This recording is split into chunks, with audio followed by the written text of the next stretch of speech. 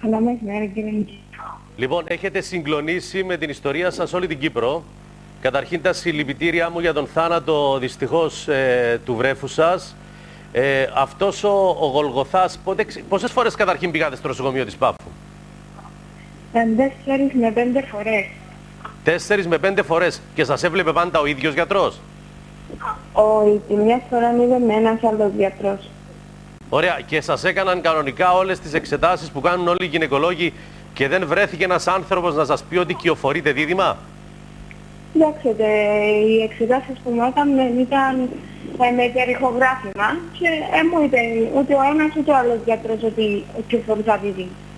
Είναι, είναι η δεύτερη σας εγκυμοσύνη, σωστά; Ναι.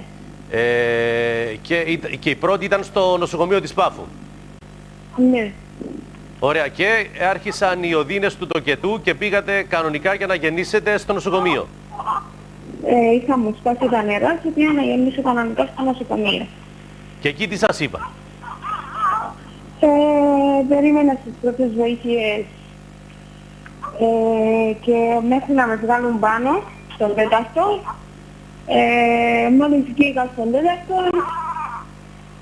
ε, γέννησα ένα νεκρό, άλλο ζωντανό. Σας είχαν πάρει κανονικά φαντάζομαι στο θάλαμο και μετά διαπίστωσαν ότι εγκυμονείτε και δεύτερο παιδάκι. Όχι. Όχι, πώς έγινε; Α, Ήμουν μέσα ναι. στο... Ε, όταν γεννούσα, γέννησα το πρώτο παιδί, ο πλακούντας στις σχολές φοβόμουν να το βγάλω. Ε, μετά ε, κατάλαβαν οι νέες ότι κυοφορούσα δεύτερο μωρό. Και Μάλιστα. έτσι προσπαθούσαν να με γεννήσουν και το δεύτερο μωρό. Ωραία, βρέθηκε κάποιος να σας απολογηθεί, σας είπε κάποιος κάτι μετά από όλο αυτό το περιστατικό; Γιατί μιλάμε ότι και ο, ένας γιατρός στους πρώτους 5-6 μήνες που σπουδάζει ιατρική μπορεί να καταλάβει ότι μια γυναίκα κυοφορεί δίδυμα. Σας απολογήθηκε κάποιος, σας ζήτησε κάποιος συγγνώμη ή τίποτα; Ήρθε, ήρθε η γιατρός και μου ζητήσε συγγνώμη αν είχε παίξει σε κάτι μου είπε. Αν είχε φταίξει σε κάτι. Ναι. Μάλιστα. Λοιπόν, ακούμε και το παιδάκι που εκεί είναι δίπλα σας. Να το χαίρεστε.